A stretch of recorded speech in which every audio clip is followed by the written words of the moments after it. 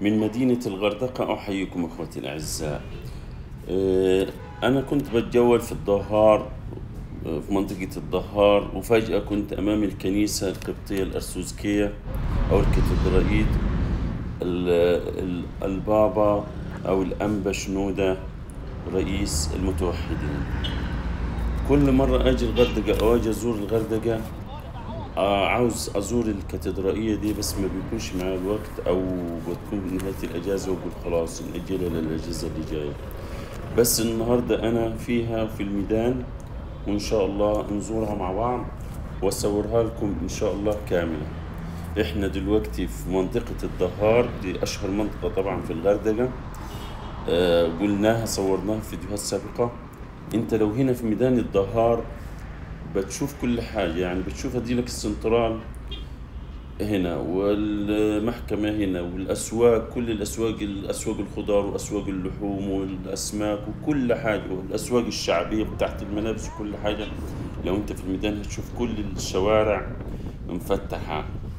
وما يميز مدينة الغردقة إنه بها شبكة مواصلات جميلة جدا. يعني شاملة المدينة كلها. هتلاقي ميكروباصات هتلاقي تكاسي ال- باللون البرتقالي دي هتلاقي آه، أوبر هتلاقي كريم هتلاقي أندرايفر.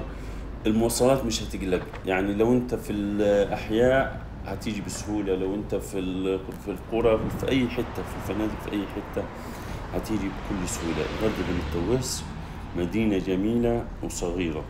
هنا الكاتدرائية طبعا وأنت ماشي بتنزل عند جاد جاد على يمينك أو كشري التحرير اللي هو دي قدامكم في الصورة وبتمشي بتاخد يمينك على طول آه، خطوات بتلاقي الكاتدرائية. أو هو اسمه الشارع بتاعها شارع اللواء سلمان. هتمشي الشارع هادي طبعا. وممكن تشرب عصير هتلاقي بتوع عصير. هنا الشارع ده بيوديك بقى على شارع الملابس وكل حاجة والموبايلات وهتلاقي كل حاجة. هي منطقة شعبية تجارية فخمة فيها كل حاجة. وأرخص من شارع الشيراتون والبازارات والحاجات دي كلها. هتلاقي فيها كل حاجة. بتمشي على طول طبعا. الكاتدرائية دي فيها يعني فن معماري وهندسي. لو انت شغوف بالهندسة المعمارية والتاريخ والكنائس والمساجد والمباني يبقى لازم تزور الكنيسة دي. تزورها لأنها تستحق الزيارة. يعني أنا أول ما شفتها وزرتها بصراحة آه، تسلم إيد المهندس اللي رسمها يعني. هتشوفها من جوا حضراتكم. طبعا انت بتمشي دلوقتي ده كله تبع الداخلية عشان التأمين حوالين الكنيسة. الكنيسة مؤمنة تماما. بتخش هنا طبعا بتلاقي الرجل بتاع الشرطة. كل احترام بيوقفك ويسألك على في الشنطة عادي وبتعدي على الجهاز عشان إيه؟ اكتشاف الحاجات المعدنية وكده. بتخش بيرحب بيك ويقول لك اتفضل. وعلى فكرة الكنيسة مجانية ما فيش تذاكر. ده مبنى الكنيسة. من الخارج كده من حواليها قبل ما نخش وكده الباب بتاعها. وهتشوف الكنيسة دي دو أو الكاتدرائية. اسمها كاتدرائية الأنبا شنودة رئيس المتوحدين. هنا بتخش بتلاقي الجداريات طبعا على الحيطان. وبتلفها تلف الكنيسة من تحت وتشوف تستكشفها. والله ما أعرف حقيقة الناس محترمة الدنيا هادية. أنا رحت الساعة مش عارف مش فاكر الساعة عشرة صباحا كان الساعة عشر صباحا أو 11 كانت الدنيا هادية. لأنه الكنيسة سياحية فت يعني فاتحينها تبع جدول الزيارة للأجانب. فبتيجي أنت من العصر والظهر كده بتلاقيها إيه مليانة. الكنيسة دي ما بتلاقيش مكان فاضي فيها أو شبر فاضي فيها. بتبقى مليئة بالأجانب والسياح. خلوها تبع المزارات. السياحية. ودي حاجة تشرف طبعا إنه إحنا يكون عندنا حاجة وجهة للسياح كده ونتباهى يعني فخر سواء مساجد أو كنائس أو ده إحنا دول ال- الأجانب مش بييجوا يصلوا أو كده لا ده بييجوا يزوروا التحف المعمارية. هم بييجوا يتفرجوا على الرسوم ويتفرجوا. والدولة بتبان من ال- الرسم بتا من الهندسة بتاعتها والحضارة بتاعتها. دي واجهة ليها. لكن هم ما بيصلوش ولا بي...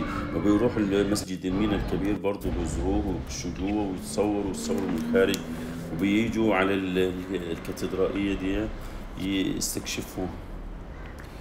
أنت طبعا بتيجي بتخش زي ما أنتم شايفين حضراتكم دي الكاتدرائية من فوق بتخش على الكاتدرائية.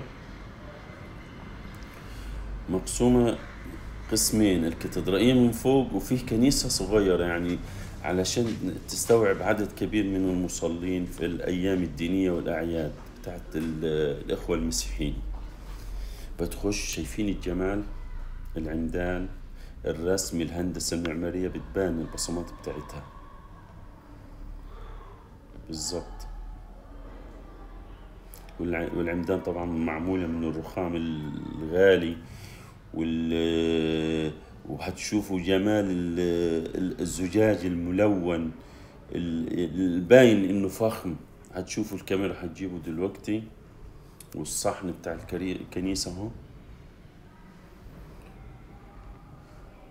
فهذه الكنيسة أو الكاتدرائية تقع في منطقة الدهار في مدينة الغردقة بجمهورية مصر العربية. وهي كنيسة قبطية أرثوذكية ذات بناء متواضع وبسيط من الخارج. ولكنها رائعة للغاية من الداخل خاصة نوافذها الملونة. اللي حضراتكم شايفينها شايفين النوافذ جميلة وملونة إزاي طبعا غالية جدا باين عليها إنها فخمة. وأسقفها المطلية واللوحات الجدارية والجداريات الدينية. المعلقة في أرجائها وفوق المذبح. واللي يميز هذا المكان آه، هذه الكاتدرائية؟ وجود كنيسة صغيرة من تحت يعني معمولة ب- بطريقة احترافية. تقع مباشرة أسفل الكاتدرائية. وذلك زي ما قلنا من أجل استيعاب كافة المصلين في الأيام الدينية الخاصة. ويمكنك الذهاب إليها مع عائلتك أو أصدقائك والاستمتاع بجمال هذه الكنيسة الرائعة. إنها مكان روحي ومليء بالحياة والمشاعر الرائعة. كل ما عليك بس هو فعله هو الالتزام بالهدوء واحترام المصلين الذين يقيمون الشعائر بتاعتهم الصلاة بس دي كده إحنا نزلنا بقى تحت للكنيسة.